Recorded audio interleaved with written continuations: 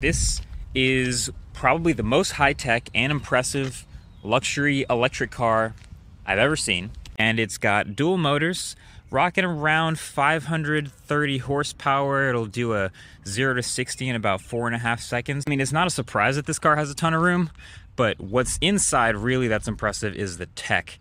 And I kind of just want to get to that. And that's half because of how comfortable it is, but there's so much tech inside that it's kind of incredible. So it actually starts with the doors, but also it will completely open the entire door and it has sensors to know exactly how far it can open based on if there's a car next to you or something like that.